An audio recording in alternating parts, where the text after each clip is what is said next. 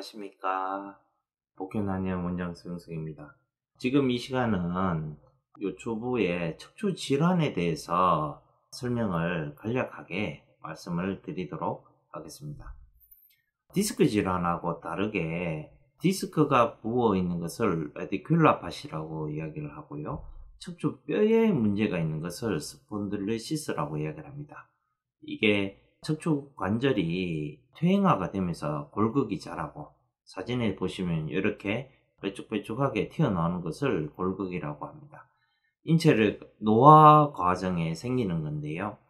지금 오늘 말씀드릴 것은 spondylosis라고 해서 척추뼈에 문제가 생기는 것에 대해서 간략하게 말씀을 드리도록 하겠습니다. 첫 번째는 척추 전방전이증입니다.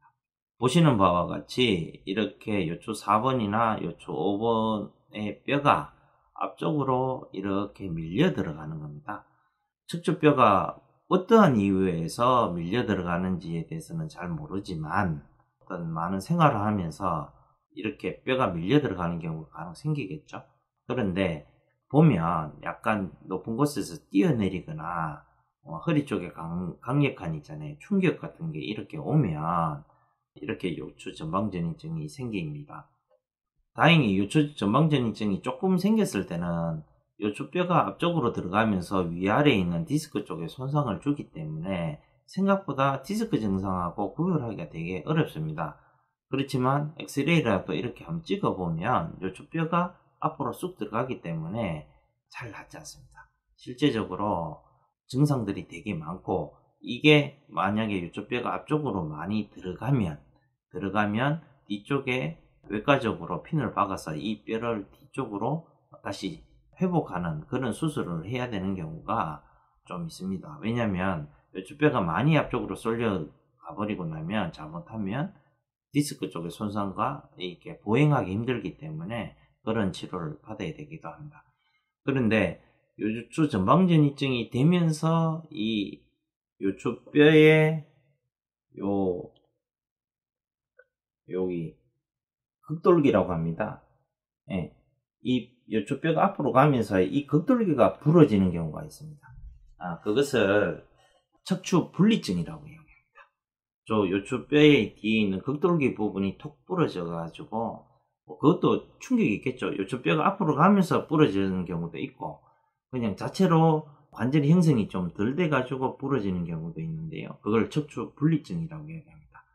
참 치료하기 어려운 부분입니다. 통증이 만성 요통과 디스크 질환과 여러 가지 형태로 이렇게 드러나는데요. 그걸 척추 분리증이라고 이야기를 하고요. 압박골절이라고 있습니다. 요추뼈의 1번과 흉추 12번 음, 요 위쪽 뼈입니다. 요 위쪽 뼈에서 요추뼈가 부러지는 겁니다. 이런 경우에는 주로 추락했을 때 그러니까 높은 곳에서 떨어지면서 쿵 해가지고 요추뼈가 부서져 버리는 겁니다. 금이 가거나 그렇게 되면 마찬가지로 위아래로 디스크 쪽에 부하가 많이 걸리게 되겠죠. 이런 경우는 사진을 찍어보지 않으면 잘 모릅니다.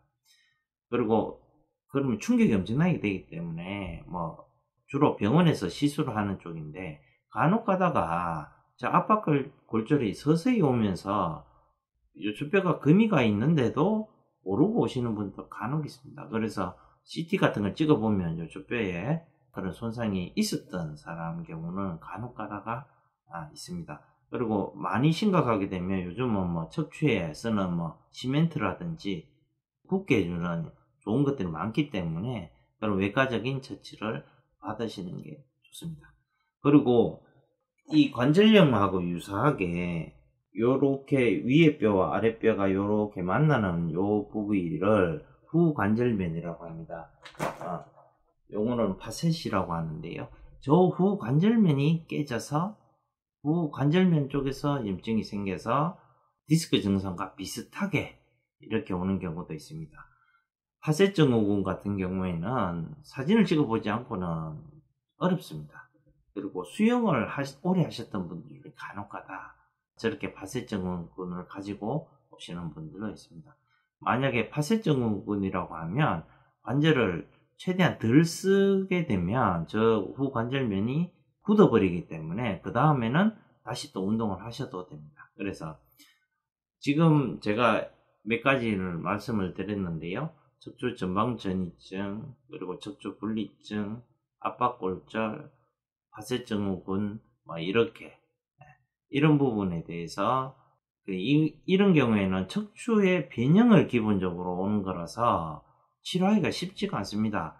뭐 저런 질환을 가지고 만성 요통으로 해서 한의원 오시는 분들이 있는데요. 그런 경우에는 어찌 됐건 저희들도 최선을 다해서 염증을 최대한 줄이는 방향의 치료를 선택을 하게 됩니다. 치료가 되는 경우도 있고 되지 않는 경우도 있습니다. 쉽지 않은 부분이라서 만약에 이 방송을 보시는 분들 중에 증상이 디스크하고 비슷하지만 디스크는 괜찮다고 하면 다른 쪽에 문제가 있어서 생기는 증상일 수도 있으니까 CT라도 이런 사진을 엑스레이로는 잘 모르거든요. 그래서 CT 같은 거를 허리 쪽에 한번 찍어 보시면 관절 상태든 척추 상태든 디스크 상태가 어느 정도 형성이 되는지에 대해서 이해하시기가 좀 수월하실 겁니다. 감사합니다.